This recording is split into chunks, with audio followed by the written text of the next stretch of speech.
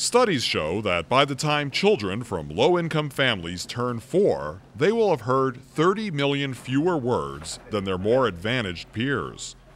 To address this 30 million word gap, the Washington County Library and Washington County Public Health Departments have teamed up to offer Read to Me tote bags. New and expecting mothers will be given a tote. Um, so any mother who is expecting or has a child up to age one will be giving one of these Read to Me totes.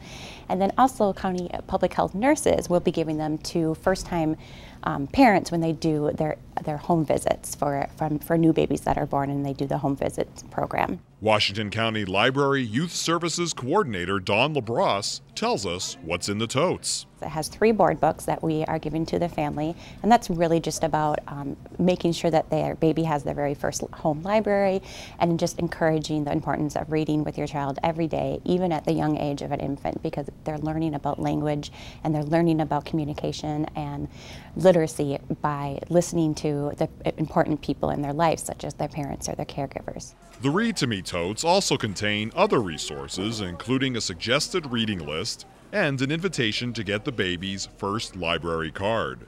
The program began at the beginning of February, and LaBrosse is already hearing great things about it. My contact of the WIC clinics is saying that families are so enthusiastic about getting it, and they're so thankful for it, and they're going through it faster than they thought they would. We initially started out with about 200 kits that we sent out to the different WIC clinics and to the public health nurses. And within the first week and a half, they were like, we're running out. So we quickly stuffed and uh, assembled another 300 that we've shipped out.